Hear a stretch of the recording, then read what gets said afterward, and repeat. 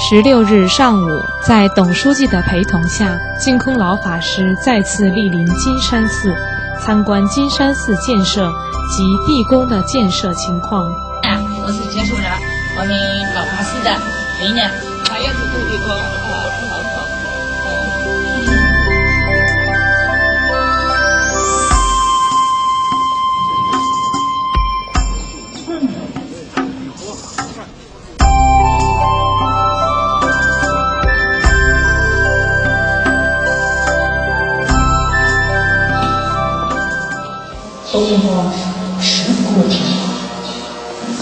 它代表的十是保持，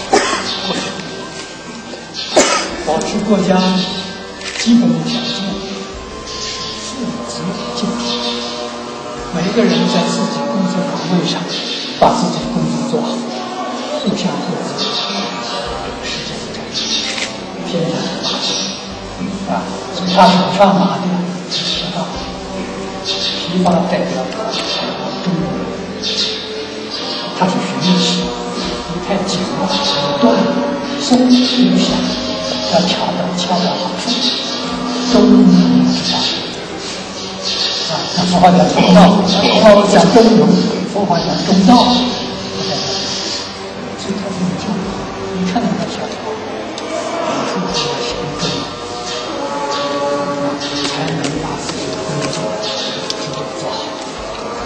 南方正常，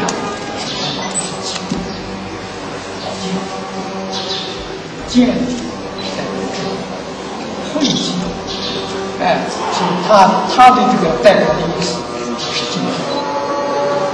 我们儒家讲日新又新，日日新，天天有新。按照佛法讲经济，那这这这他这一边呢就是。西方，西方广物，如何能够做到肤色静止，这个进步来学习，我自己都看，读万卷书，行万里路，他手上拿的是或者拿的是石，这个龙蛇代表人心、社会。变化太大啊！处在这个变化的环境当中，这个不变的原则，守住不变，应付一切的变化。那个不变就是伦理、道德、应当，这个是永恒不变。只要掌握这个，再复杂的社会，你都不能应付。最后北方讲，北方讲的是啥？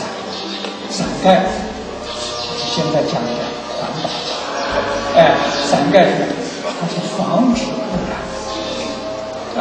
啊，防止防止污染，啊，让这个心地清净，不是外面环境不是。